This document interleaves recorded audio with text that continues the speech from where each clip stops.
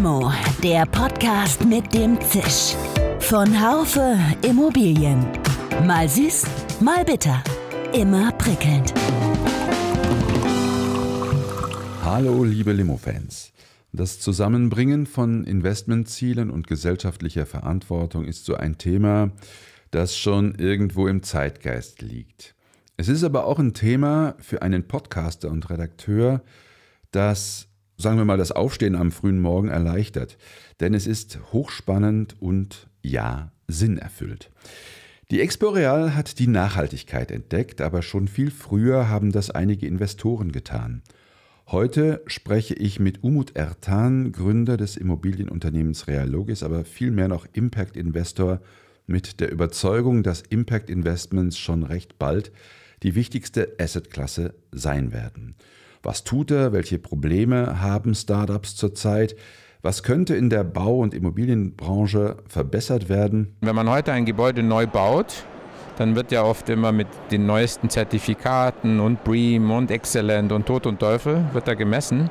Aber wenn man ein gutes Bestandsgebäude aus den 80er Jahren beispielsweise abreißt, dann brauchen sie ca. 50 bis 60 Jahre, bis die CO2-Bilanz des zerstörten, gebundenen Betons, was in diesem Gebäude gebunden ist, wieder auf Null stellen. Mir ging es so, dass man beim Zuhören in eine Art Rausch kommt und die gute halbe Stunde wie im Fluge vergeht. Vielleicht geht es Ihnen ja ähnlich. Die erste Limo direkt von der Exporeal aus.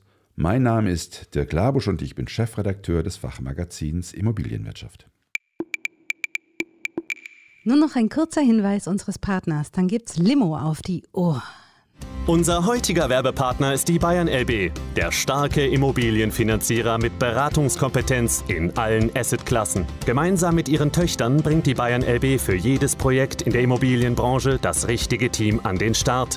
Kunden profitieren dabei von einem breiten Leistungsspektrum entlang der kompletten Wertschöpfungskette. Von der Erschließung bis hin zur Mezzaninbeteiligung, von der Finanzierung und Bewertung bis hin zu Asset- oder Facility Management. Mehr zum 360 Grad Real Estate Angebot der Bayern LB unter bayernlb.de/slash Immobilienkompetenz. Ja, lieber Herr Ertan, ich freue mich, dass ich Sie hier auf der Expo treffe. Geben Sie doch am, am Anfang mal so drei, vier Eindrücke von der, von der Messe wieder. Das äh, interessiert unsere Zuhörer sicherlich auch. Ja, vielen Dank, dass Sie mich eingeladen haben zu dem Gespräch heute und unserem ersten eigenen Messestand während der Expo Real. Wir haben 15 Jahre versucht, einen schönen Stand zu bekommen, hier in der Halle A1, direkt neben München. Das ist nicht so ganz leicht. Da sind die Stände gut verteilt, ähnlich wie ein Tisch auf dem Oktoberfest, sind heiß begehrt. Und äh, ja, ein, ein Münchner Teilnehmer hat den aufgegeben aufgrund Corona und wir haben natürlich die Chance beim Schopfe gepackt und haben zugeschlagen. Die ersten Stunden waren sehr schön. Ich habe äh, einige am Gang getroffen, wo ich nicht terminiert war. Ich hatte nur bis halb zwölf keine Termine und waren dann gleich wieder zwei Zufallsbegegnungen und, und äh, davon lebt ja die Branche, von Vertrauen von Menschen. Also wir handeln zwar mit Immobilien, bauen die, vermitteln die, beraten Projektentwicklung, aber es sind ja die handelnden Menschen dahinter und ja, es ist schön, dass wir wieder echten Austausch zu haben. Sie haben ja den Logistikmakler Realogis gegründet. Sie haben eben gesagt, das ist nur eine von ganz vielen Beteiligungen, die ich habe. Jetzt haben Sie eine Beteiligungsgesellschaft gegründet, die Schweizer Kapital Holding. Sie sind als Impact-Investor unterwegs. Vielleicht erklären Sie ganz kurz, was Sie da in diesem Bereich genau machen und dann vielleicht als nächstes, warum Sie es machen. Es sind mittlerweile zehn Firmen, die ich selber gegründet habe. Ich versuche den Begriff Serial Entrepreneur zu vermeiden. Also wenn ich regelmäßig sprechen darf auf einer Bühne, Sie können 100 schlechte Firmen gründen, sind Seriengründer. Was zählt da schon? Ich verstehe mich als Unternehmer im klassischen Sinne. Die meisten Firmen, die ich aufgebaut habe, sind organisch gewachsen, sind nicht fremdfinanziert durch Banken. Äh, ich habe immer versucht, schuldenfrei die Firmen aufzubauen, also so auch Realogis vor 16 Jahren. Damals wurden wir belächelt als Lagerhallenschubser, nur Lagerhallen und bundesweit. Heute ist Logistik Systemrelevant haben wir in Corona gesehen. Äh, es ist die am stärksten wachsende Assetklasse im Gewerbesektor. Äh, die Renditen sind fast auf dem gleichen Niveau wie Büroimmobilien angekommen. Die Yield Compression ist sehr hoch. Woher wussten Sie vor 15 Jahren, dass das Logistikthema eben kein Lagerhallengeschubse ist, sondern wirklich eine Zukunft hat? Oder wie, wie, welche Indikatoren haben dafür gesprochen? Deutschland ist eine Industrienation. Da wird jeder immer sofort nicken. Ja. Doppelt so groß wie Frankreich auf Nummer zwei, auch vom Logistikmarkt an sich. Man spricht oft über Logistik als Markt. Logistik hat ja 360 Milliarden Umsatz pro Jahr in Deutschland. Die ganze Logistikbranche, ich rede jetzt nicht von den Immobilien, ist so der dritt- oder viertgrößte Arbeitgeber, weil Logistik geht über die Sektoren Automotive, Maschinenbau, Produktion. Also da ist überall Logistik mit dabei. Ist systemrelevant seit Corona eindeutig. Wir haben alle erlebt, was es bedeutet, zu Hause zu sitzen und die Sachen doch immer im Regal zu finden oder online geliefert zu bekommen. Die Lkw-Fahrer sind gefahren, man hat da die Bilder gesehen an den Grenzen, die waren unterwegs. Und, und das hat eine höhere Akzeptanz jetzt zwischenzeitlich bekommen. Also die Logik, weil Sie mich gefragt haben, war Deutschland Industrieland, dafür braucht es Industrieflächen und Industrieflächen beinhalten auch die Lagerlogistikimmobilien. Das ist der Überbegriff auch dieser, dieses Sektors. Und entsprechend habe ich gedacht, ein Land wie Deutschland braucht sowas. Also wenn nicht hier, wo dann? Dass das so gut läuft, hätte ich mir nicht ausmalen lassen. Es war Glück. E-Commerce kam dazu, diese Zalandos, diese ganzen Amazons dieser Welt, die jetzt heute auch alle diese Lagerlogistikflächen benötigen. Heute wird immer mehr aus den Legern direkt zum Kunden geschickt. Eben leider nicht nur über den Einzelhandel, über die stationären Geschäfte. Das ist auch ein Problem, muss ich sagen, aber da habe ich auch ein eigenes Startup, UPEX, darüber können wir ganz später reden, wie das gelöst ist. Äh, wir versuchen eben die Stadtleger, so nennen wir das. Also wir, wir sagen nicht, dass man die Stadt vollpflastern muss mit City-Logistik-Immobilien, die man nochmal baut, wo wieder Wohnflächen entzogen werden würden oder gar, sagen wir mal, Kindergartenflächen im Erdgeschoss. Wir sagen, die Ladenflächen sind schon in der Stadt. Und wir wollen dort äh, die letzte Meile insofern aktivieren, dass die Sachen, die dort im Erdgeschoss schon vorrätig sind, direkt an den Kunden in der Stadt im 30 bis 50 Kilometer Umkreis mit Elektromobilen innerhalb von wenigen Stunden geliefert werden. Das ist jetzt, äh, habe ich vor circa eineinhalb Jahren, da bin ich Co-Gründer, ist ein Münchner Unternehmen auch. Also wir versuchen da, also ich versuche mit meiner Firmengruppe Schweizer Kapital, das ist ein Family Office, habe ich vor zehn Jahren gegründet, eben auch solche Startups zu unterstützen, dass unsere Innenstädte nicht veröden. Impact Investing ist ja äh, ein, ein, ein Thema, das man ja äh, dass man einfach äh, in, Unternehmen investiert im sozialen, wenn ich es weiß, ökologischen Bereich, damit etwas Gutes auch tut für die Gesellschaft, dadurch, dass man für ein Unternehmen was Gutes tut und auch für sich selber. Vielleicht können Sie dazu mal ein paar, paar Takte sagen. Dieser Begriff Sustainability, Nachhaltigkeit, der ist ein bisschen abgedroschen, Nachhaltigkeit, dass man will es irgendwie gar nicht mehr hören. Und neudeutsch heißt das dann eben auch Impact Investments. Das heißt, es sind Investments, die eine Wirkung erzielen. Das ist die wortwörtliche Übersetzung. Impact heißt Wirkung. Und beim Impact Investment geht es darum, den Wirkungsgrad zu messen.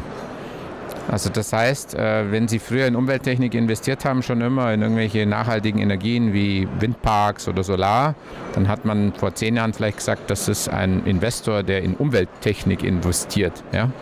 So, heute hat man einen schönen Begriff gefunden, der heißt Impact. Äh, das heißt, er löst gleichzeitig die größten Herausforderungen unserer Zeit. Also erstens mal die soziale Ungerechtigkeit ist vielleicht als erstes zu nennen, allerdings äh, an der Spitze dann direkt natürlich die Umweltzerstörung. Und äh, als größte Herausforderung unserer Zeit empfinde ich persönlich Global Warming. Also das ist nicht mehr von der Hand zu weisen, trotz der Pandemie, trotz Corona jetzt. Wir sind relativ gut geimpft, so vierte Welle, fünfte Welle, was auch immer noch kommen mag. Irgendwann wird sich das ausbalancieren. Wir werden eine hohe Impfung oder Immunität in der Bevölkerung bekommen oder auch weltweit. Das wird irgendwann endlich sein, das Thema in wenigen Jahren, so hoffe ich zumindest. Sodass Global Warming als größtes Problem übrig bleibt. Und das können Sie eigentlich nur, indem sie in den größten Markt der Welt investieren. Das heißt, man kann natürlich springe ich kurz Social Impacts machen, mache ich auch. Es ist Philanthropie. Man kann mit 10.000 Euro, haben wir auch ein Projekt gemacht mit der ETH Zürich, kann man eine PET-Komprimiermaschine entwickeln mit so einem Budget. Da kriegen Sie dann auch zwei Doktoren an die Hand gestellt, ein paar Studis, die basteln dann ein halbes Jahr rum und entwickeln aus zwei Altreifen so ein manuell betrieben, eine Maschine, wo unten der komprimierte, die komprimierte Flasche rauskommt. Was bringt das? Das bringt, dass die Picker, also das sind die Sammler, wenn der LKW einmal die Woche kommt, die dreifache Menge mitnehmen kann, weil man die Flaschen sonst, weil sie sehr recht volumig sind, man kriegt einfach nicht mehr mit. Und so wie das halt in Afrika ist, da hängen dann riesige Bälle auf so einem LKW und fallen fast links und rechts runter. Der, der, wird dann schon so beladen, dass fast alles drauf passt. Aber wenn halt dreimal mehr drauf passt, ist der Umwelt geholfen vor Ort, weil das äh, dauert über 100 Jahre, bis so eine PET-Flasche verrottet oder noch länger. Den Menschen ist geholfen, sie haben einen höheren Verdienst. Und, äh, und, und das ist eigentlich soziale, Social Impact. Das ist so dieser soziale Aspekt. Das heißt, wenn man auch den Menschen vor Ort in Lohn und Brot verhilft und ihre Lebens- und Arbeitsbedingungen verbessert. Das wird auch oft abgetan als Philanthropie. Ein Impact-Investor hat mit Philanthropie nichts am Hut. Der will ganz klar Rendite. Der geht einen Schritt weiter. Der tut das zwar auch noch als Wirkung auch messen, hat das einen sozialen Impact auf solche Menschen, hat es auch eine Wirkung auf die Stabilität dieser Region, also all das, was sag ich mal, heute in unseren Gesellschaften passiert, auch ähm, die Ungerechtigkeit, die da überall stattfindet, gerade auch in den ärmeren Ländern, das ist für ihn ein Aspekt. Er will aber auch ganz klar und ein Impact-Investor will Wirkung, also der will messbar entweder CO2 reduzieren, Arbeitsplätze schaffen die dritte Stufe ist eigentlich das Entscheidendste, für mich der messbare Reduktion von CO2. Also dass wir wirklich heute die Kilowattstunde Strom, wenn sie fossil verbrennt wird mit Erdöl, Gas, vergleicht mit einem Windrad. Auch da ist ja graue Energie verbaut. Ja? Also das Windrad, wissen viele nicht, die Rotorblätter sind äh, Rest, also Müll, also insofern nicht rezyklierbar am Ende ihrer Laufzeit nach 20 Jahren. Die werden verbuddelt im Erdreich. Auch eine Wahrheit, die keiner so richtig weiß. So, genauso wie bei den Lithium-Ionen-Batterien und so weiter, da gibt es ja auch immer noch eine Side-Story und eine Hintergrundstory. Aber natürlich muss trotzdem der Wandel stattfinden. Aber wenn man korrekterweise, muss man die komplette graue Energie, also sprich die ganzen Entwicklungskosten, Entwicklungszeit, alles berücksichtigen und in die Waagschale werfen im Vergleich eben zu fossilen Brennstoffen. Und wenn man das in Abgleich setzt, sagt, wie viel CO2 wurde jetzt damit pro Kilowattstunde Strom gespart an CO2-Emissionen. Und das ist dann dieser Wirkungsgrad, um den es einem Impact-Investor geht. Den will man sehen, den will man messen, weil er könnte ja theoretisch, ein Impact-Investor hat ja den Abgleich mit Aktienfonds, Staatsanleihen, Gold und weiß Gott was für Anlagen, Immobilien. Und beim Impact will er ja eben genauer noch einen Schritt weiter gehen. Er will sein eigenes Gewissen ein bisschen vielleicht erleichtern. Ich sage das auch ganz, ganz offen raus. Das war ein bisschen auch mein Antrieb. So, wenn man 20 Jahre lang Lagerhallen macht und Industrie und davon profitiert. Irgendwann will man, also ich wollte der Gesellschaft was zurückgeben. Das war mein Antrieb. Und eben aber auch unseren Kindern eine Natur hinterlassen, die lebenswert ist und nicht deren CO2-Kontingente, weil die sollen ja irgendwann auch mal die Welt sehen, heute schon verbrauchen, die ihnen eigentlich zustehen würden, irgendwann, wenn sie in dem Alter sind, die Welt bereisen zu können. Das muss man sich ja mal vorstellen. Wir, wir, wir verbrauchen die Kontingente, die denen eigentlich zustehen würden. So muss man das mal auch sich gedanklich vor Augen führen. Also wir, wir, das ist ungerecht. Ne? Wir, wir leben auf deren Kosten und die Umweltkatastrophen, vielleicht noch als kleine mal Schlussanmerkung ähm, zum Impact an sich. Vor 2008 hat El Gore eine große Präsentation gehalten, hat Bilder an die Wand projiziert mit Klimakatastrophen, hat gesagt, so wird das irgendwann aussehen, Waldbrände, hier äh, Sturmflut, Hochwasser, die, die Oberfläche, also Starkregen schwemmt ja dann auch, weil viele sagen, es regnet doch. Ja, es regnet, aber es regnet dann, wenn dann zu viel und spült ja den Mutterboden oben weg. Also das ist ja dann nicht der Niederschlag, der gut ist fürs Grundwasser und für die Landwirtschaft. Das ist ja genau immer so der, dieses Totschlagargument der ganz, ganz Schlauen, wenn die dann sagen, es regnet doch, es gab ein Riesengewitter und alles. Das ist schön und wir brauchen beständigen, kontinuierlichen, gleichmäßigen Regen und nicht diesen starken. Der ist nämlich nochmal schädlicher. Ja, also das vielleicht auch nochmal so kurz als, als, als Einwand. Aber Al Gore hat diese Bilder 2008 gezeigt. Ob der das jetzt als Gutmensch gemacht hat oder weil er vielleicht nicht Präsident wurde, sei mal dahingestellt. Aber er hat frühzeitig seine Macht angewandt als Politiker. Er ja fast Kandidat geworden, Präsident. Heute sind diese Bilder Realität, auch bei uns in Deutschland diesen Sommer. Also die Einschläge kommen näher. Ne? Auch dieser Sommer, der war zu feucht in bestimmten Regionen, in anderen, in Brandenburg war er immer noch zu trocken. Hat halt doch nicht so viel geregnet. Also wir haben regionale Unterschiede und wir können eben nicht mehr nur in die Sahara schauen oder ins Death Valley, wo jetzt 70 Grad gemessen wurden, anstatt 60 bisher. Das bringt ja nichts, weil wir haben ja vor Ort schon die Umweltkatastrophen und das hängt mit dem Klimawandel zusammen. Wir müssen jetzt handeln. Wir können nicht noch mal zehn Jahre warten. Jetzt zunächst mal die Frage, äh, Impact Investing könnten, könnte sein äh, der ökologische Bereich, könnte sein äh, der soziale Bereich. Social Housing habe ich jetzt richtig verstanden, machen Sie zum Beispiel gar nicht, weil Sie, oder eher weniger, weil Sie sich eher auf diesen ökologischen Bereich spezialisieren. Ist es richtig? Ja, also mit meinem eigenen Kapital und was natürlich jetzt nicht die Möglichkeit hat, in so großvolumig zu investieren, wie wenn man einen großen Fonds auflegt, habe ich jetzt in den letzten vier Jahren 20 Millionen investiert in, in, in Startups. Das waren drei Cleantech-Unternehmen. Eins davon ist Sinpower aus München. Da können wir gerne nochmal drüber sprechen. Und äh, auch Kitekraft aus München, äh, beziehungsweise auch die Firma Greenbuy aus der Schweiz, die mit 300 Bar Behältnissen so viel kontinuierlich an, an Luft entweichen lassen wollen. Das wird hochkomprimiert, um dann in diesen Gefäßen durch die entweichende Luft entsteht Wärme, aber auch Kälte, die daraus wiederhergestellt werden kann. Das soll eine Technologie werden, die mit Luft, mit Umgebungsluft, mit dem, was wir hier einatmen, tatsächlich Strom speichert, kühlt und heizt in einem Gerät. Und das soll in drei bis fünf Jahren marktgängig sein. Da soll auch dann aus meiner Sicht die Brücke zur Immobilienwirtschaft hergestellt werden. Ich entwickle ja selber auch Immobilien und möchte natürlich da irgendwo auch gucken, dass wir das möglichst schnell in die Anwendung bekommen, nicht erst in 10, 15 Jahren, weil es ist wirklich Dringlichkeit geboten. Aber Ihre Frage war auch, welche Sektoren. Also ich selber habe mich auf Umwelttechnik spezialisiert, gründe selber jetzt aber auch eine Social-Media-Plattform, die heißt Karma Point und Karma Coin. Also da wird es ähm, letzten Endes um ein Gutes gehen, was sichtbar wird. Also die Menschen in unserer Gesellschaft, eine Krankenschwester, die Gutes leistet, eine Kassiererin oder die einfache Begegnung auf, äh, auf der Straße, irgendjemand, der einem hilft. Dem kann man ein Lächeln schenken, man kann ihn in Corona schwer umarmen, aber man kann sich bedanken aber man kann dieser Person auch Karma schenken. Unser Ansatz ist es dort, also Gutes in unserer Gesellschaft sichtbar zu machen, was man so nicht sieht, also zwischenmenschliche Aktionen. Wir möchten den Menschen eine Plattform geben, die vielleicht nicht äh, so viel Follower auf Instagram haben und nicht so viel Zeit, sich da schick zu präsentieren. Wir wollen auch dort ein, ein Medium schaffen, über das viele motiviert werden, sich auch wieder in die Städte zu bewegen. Also wir möchten an bestimmten Tagen in der Innenstadt Karma Points auslösen, in bestimmten Stationen im Einzelhandel, die dann eingelöst werden können, die man dann mehr oder weniger wie eine gewisse Pokémonisierung der Innenstadt wollen wir auslösen mit UPEX zusammen. Das wird unser Pilotprojekt. Also da geht es mir, bei diesen Themen geht es mir darum, das muss immer irgendwo ein Transfer auch sein zu, zu, zu Anwendbarkeit. Ja? Also es soll jetzt nicht zu weit weg sein. Soll nicht irgendwas sein, so ein Aderlass mit 70, 80, man sagt so, jetzt spende ich alles dem Roten Kreuz und komme dann schon irgendwie in den Himmel. Ja? Also solche Sachen, das passiert ja nun mal auch. Ich möchte, ja, während meiner Wirkungszeit als Unternehmer Sachen mitfinden, neu aufbauen, die unserer Gesellschaft Gutes tun. Und das kann man irgendwo den Menschen, das nennt man auch Social Impact. Ja? Und das treibt mich selber auch als Gründer weiterhin an. Und, und äh, ja, das ist, das ist vielleicht so die dritte Sparte der, der Sektoren. Wie kommt man denn auf die Ideen? Äh, sind die Ideen für die Unternehmen, sind die schon da? Sind die von, kommen die von irgendwelchen Startups? Oder sind Sie selber, auch gründen Sie selber diese, diese Sachen mit den Karma Points zum Beispiel?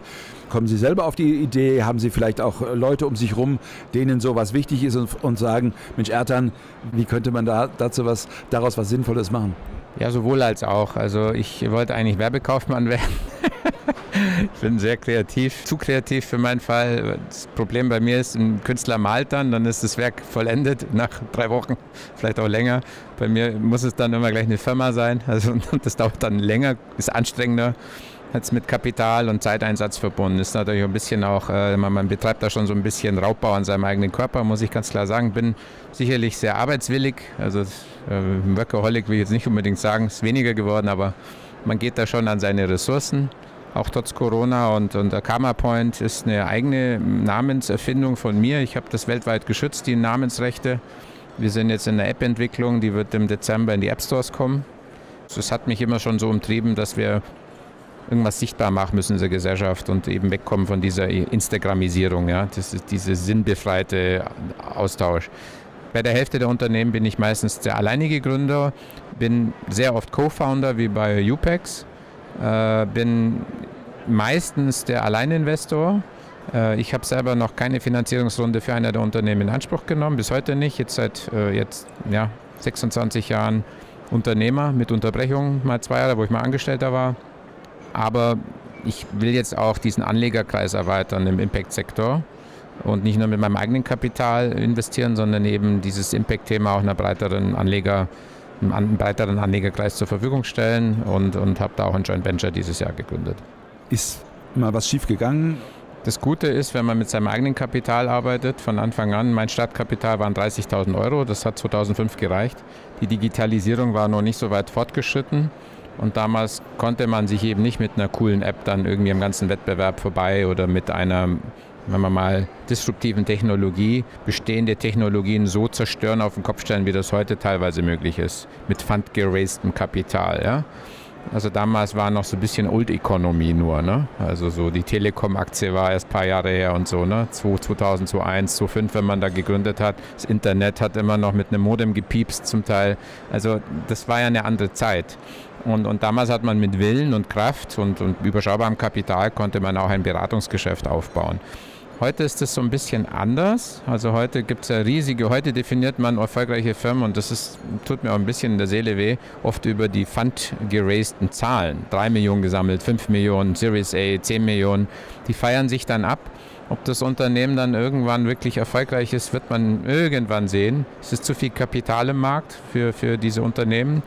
Einerseits, ja, um, wenn man aus den alten Unternehmertugenden kommt, Andererseits braucht es das aber auch, da ist ja die USA schon viel weiter, weil man dann eben aufstehenden jungen Talenten, es mangelt halt oft nur am Kapital. Der Wille ist da, die Idee ist cool, sind tolle Gründer, man sieht, die kommen bei der ersten Krise nicht gleich unter die Räder, die werden zusammenhalten, so wo man sagt, Mensch, den muss ich doch irgendwie Hilfe geben. Ne? Und, äh, und, und das ist auch gut. Andererseits ist es eben gut, dass so viel Kapital da ist. Ja? Aber wenn Sie zu viel Kapital raisen heute, dann, dann fällt Ihnen ein, jetzt geben wir eine Werbeagentur ein Budget von 300.000 Euro, die sollen uns mal ein tolles Marketingkonzept entwickeln, ein neues Logo und weiß Gott was. Das hätte Ihnen eine mittelprächtige Boutique für 40.000 vielleicht auch gemacht. Also wenn zu viel Geld da ist, wird auch das in den falschen Richtungen ausgegeben. Meine Erfahrung, wenn zu viel Geld eingesammelt ist, ein Startup ist immer gut für ein, zwei Jahre gefundet zu sein, nicht für drei bis fünf. Wenn die Mittel knapp sind, überlegen Sie sich fünfmal, wo Sie es investieren. Und die Shares werden ja dann auch immer getauscht gegen Investmentrunde. Das heißt, der, der, der, der, wenn man ein bisschen begrenztere Mittel hat, sind die Gründer auch motiviert, nicht zu viel Anteile abgeben zu wollen. Ja? Indem sie sagen, sie gehen mit dem Geld dann vielleicht fast so um, wie wenn sie eigenes wäre. Ne? Also das mal vielleicht zu dem.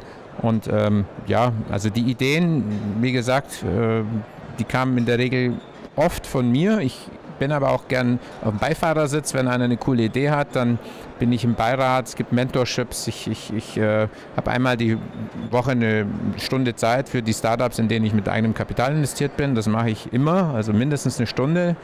Die Zeit nehme ich mir, wenn das gewünscht ist. Aber ich zwinge mich nicht auf. Also ich bin da, wenn Rat und Tat gefordert ist und, und so klappt das eigentlich in der Regel ganz gut. Manchmal hört man drei Wochen nichts, manchmal telefoniert man zwei, dreimal die Woche, wenn was ansteht. Und ähm, das, das, macht auch am meisten Spaß, wenn der, der Gründer wirklich weiter dem Driver-Seat ist und nicht ständig hier bei mir anklopfen und antanzen muss und, und sich alles absegnen lassen muss. Also diese Freiheit, dieses Vertrauen, das ist da. Und Ihre initiale Frage war um da das nicht zu vergessen, ja, ich mache jeden Tag Fehler, ich bin Mensch. Ich habe schon super viele Zeit Units der Realogis-Gruppe wieder eingestellt. Wir waren der erste 2006, der Beratung und Logistik, also Immobilienberatung und Logistikberatung kombiniert hat. Also sprich, wenn einer kommt, sagt, er will zwar irgendwo eine Halle, aber der weiß nicht, wie das Hallenlayout aussehen soll, ob es ein Gabelstapler wird, ob es Vollautomat wird, ob es eine konventionelle Lagertechnik wird und haben das als erster kombiniert. Also es gibt ja die klassischen reinen Logistik, äh, die gibt es. Und es gab bis dahin ja Universalmakler nur, die auch halt Lagerhallen vermittelt haben. Aber wir waren der erste Spezialist, der das kombiniert hat. Und das haben wir, da waren wir recht früh am Markt und es wurde auch gar nicht so, also wir konnten uns damit sofort von einem normalen Makler differenzieren, der halt auch Industrieimmobilien vermittelt, weil Beratung konnten die nicht für die Inhouse-Layouts. Es geht immer darum, dass man sich irgendwo so ein Alleinstellungsmerkmal erarbeitet, ja. Und wenn man das eben und dann, dann probiert man Sachen aus.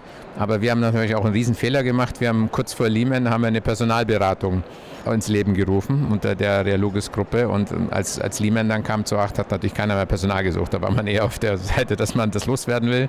Äh, die meisten unserer Kunden, wir nicht. Also wir Realogis hat immer alle Mitarbeiter gehalten auch RLI Investors, nicht einen Tag Kurzarbeit, nicht einen entlassen, 2008 und auch äh, jetzt während Corona. Also das ist uns so gelungen, weil wir eben auch komplett Inhaber finanziert sind, ohne Bankfinanzierung und, und dann steht man sowas auch mal ein, zwei Jahre durch, egal was kommen mag.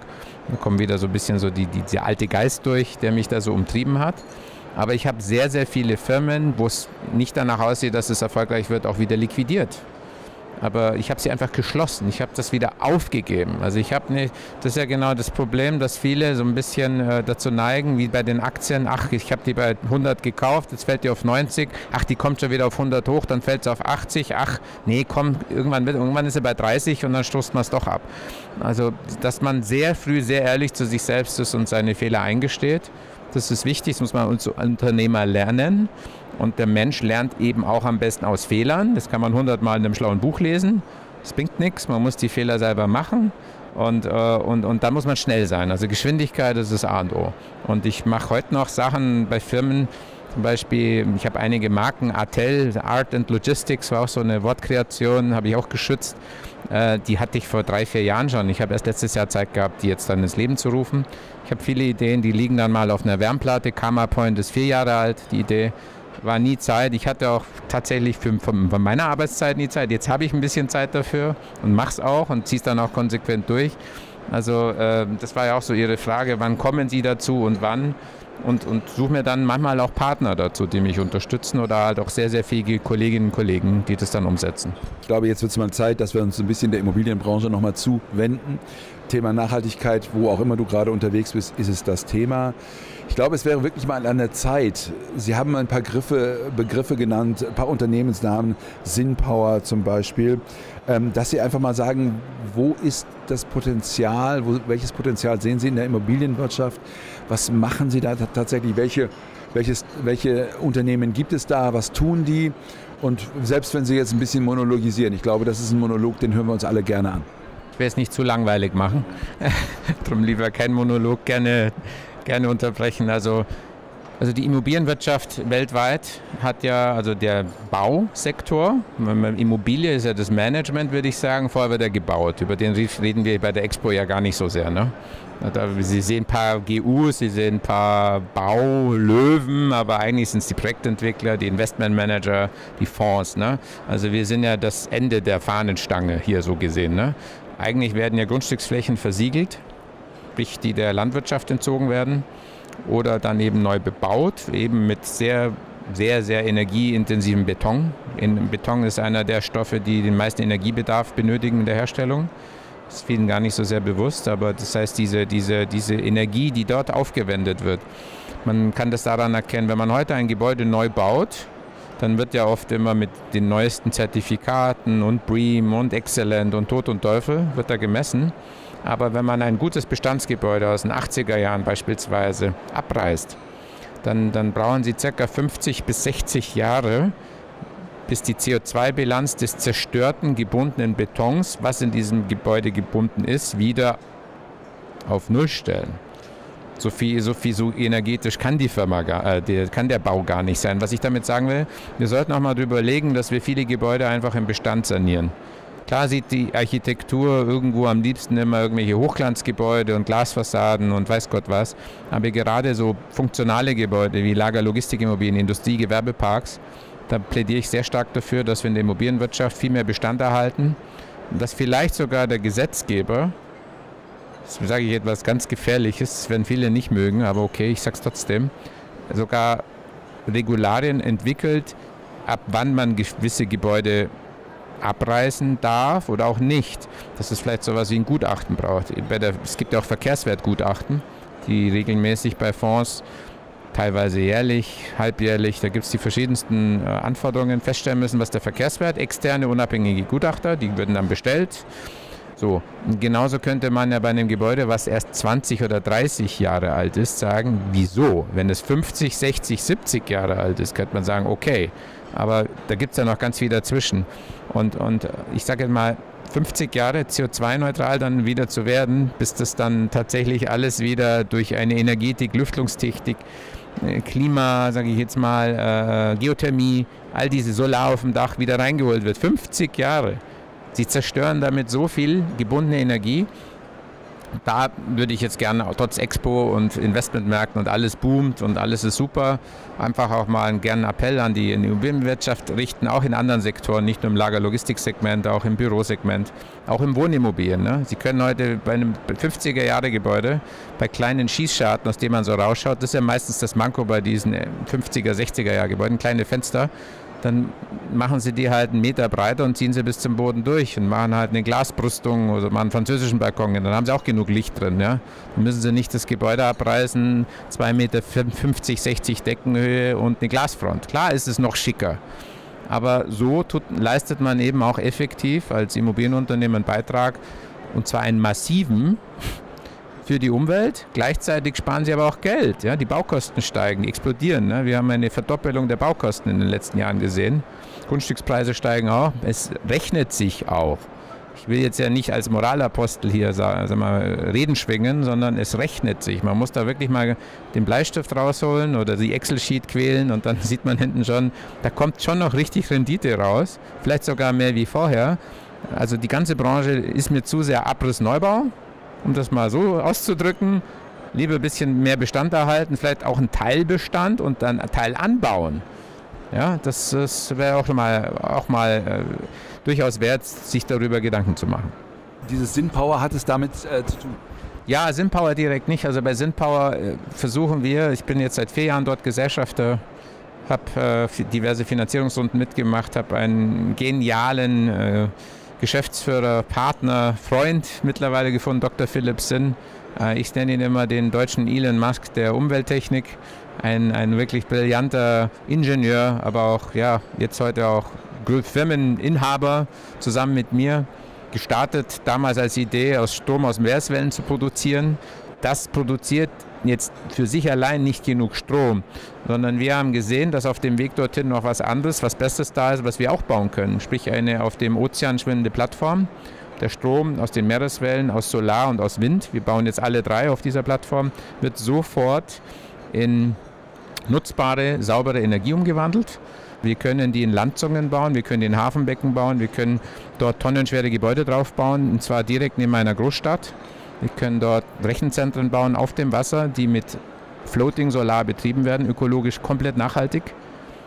Direkt nebendran, das sind jetzt keine Hirngespinste, wir sind jetzt market ready. Wir brauchen eine Vorprojektierung von ca. zwölf Monaten, dann können wir das weltweit skaliert erstellen. Und da ist dann schon der Bezug wieder zur Immobilienwirtschaft da.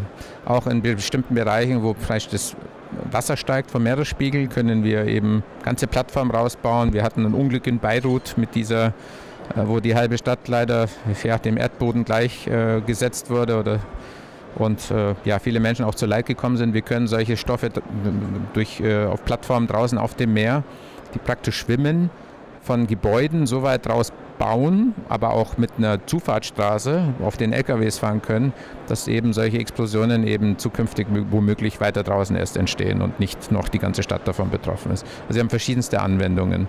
Und ähm, das zweite ist eben äh, die Firma Kitekraft, die fliegen eine fliegende Acht mit einem, mit einem Kite, was Strom produziert, eher in Regionen, wo vielleicht große Windanlagen die Landschaft zerstören und nicht akzeptiert werden, auch soziologisch. Das, der Kite fliegt hoch, produziert den Strom, fliegt wieder runter das erste Unternehmen weltweit, was eine saubere Acht fliegt. Das ist so, das kennt man so vom Drachen aus der Kindheit. Man macht es ja damit, das Seil nicht verwirbelt, muss man ja auch, weil sonst wirbelt sich ja immer weiter. Aber auch, das ist eigentlich so gesehen wie eine natürliche Bewegung, diese Acht. Und das passiert durch diese Aufwinde und die Rotorblätter, die werden, also erstmal fliegt er mit Strom hoch, mit dem Kabel hoch, wird Strom hochgeschickt, oben wird der, werden die Propeller ausgemacht und auf einmal durch die Auf- und Abwinde werden die Propeller mit Wind betrieben und senden dann Strom runter.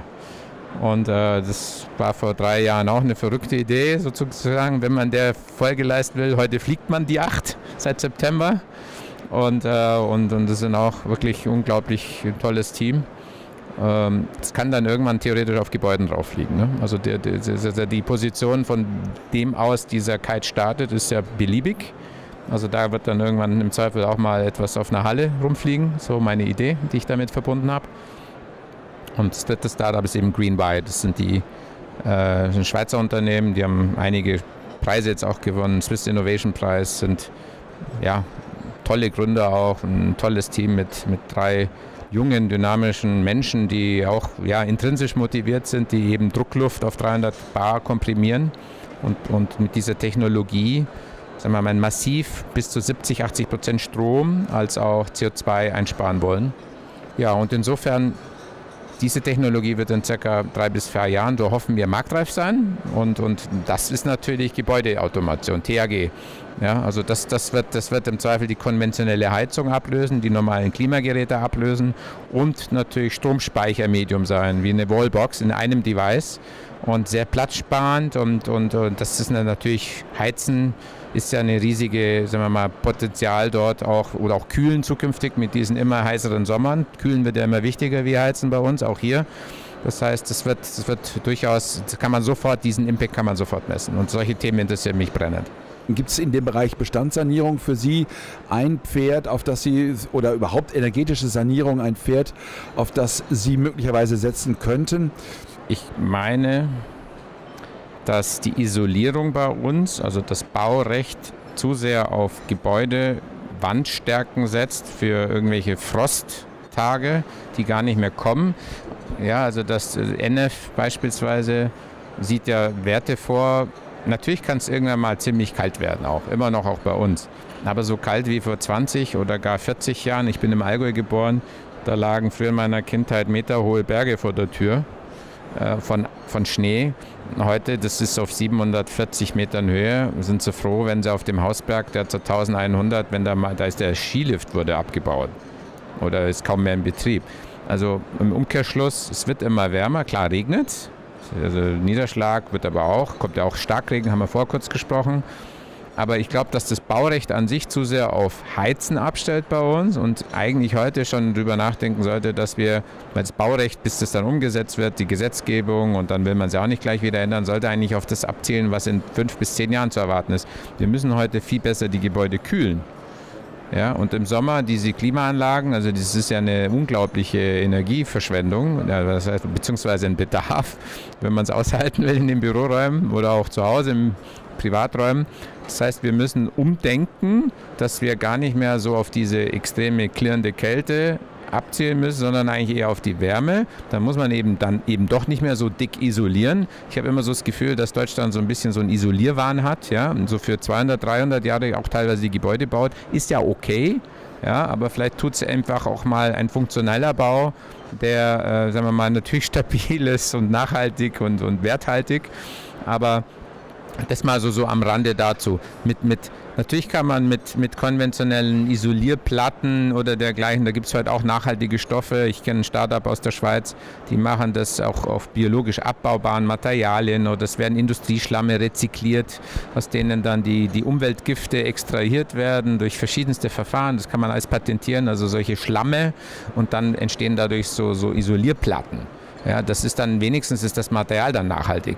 Weil so eine Glaswolle von früher und so weiter, die man da so kennt, also ich bin jetzt da kein Superexperte, aber ich meine, das muss, muss man ja dann auch, muss dann teilweise auch auf den Sondermüll oder gar Eternitplatten, die man ja ganz früher noch hatte. Ne? Also das heißt, heute das ist das Cradle-to-Cradle-Prinzip vom äh, Professor Baumgartner, glaube ich, so in Enwer. Also das Prinzip ist ja, ich habe da mal einen Vortrag gehört, korrigieren Sie mich bitte mit dem Namen, ich habe den nicht ganz parat, ist Cradle to Cradle ist seine Erfindung. Genau, er, er sagt ja immer, man muss an den Anfang des Produktions-, Herstellungsprozesses ein bisschen Hirn hinschmeißen.